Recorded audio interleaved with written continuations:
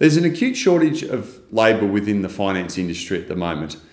If your business has progressed past having a bookkeeper and you've got a number of people uh, taking care of your accounts payable, accounts receivable within your business, and other finance functions, but you're finding as as the business owner, you're spending a lot of time having to run that function, having to provide any strategic insight to actually move that function forward. This is where our virtual Chief Financial Officer or VCFO offering can help you. What we come in and do is at a high level, we'll step into your shoes and help put in place procedures and processes so your finance team not only do the day to day, but they actually start working on things like your budgeting and projections going forward. They actually report to you as a business owner with where things are up to within your business,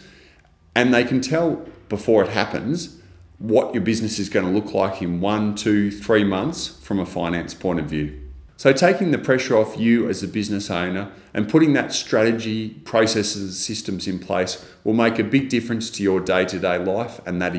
of your business.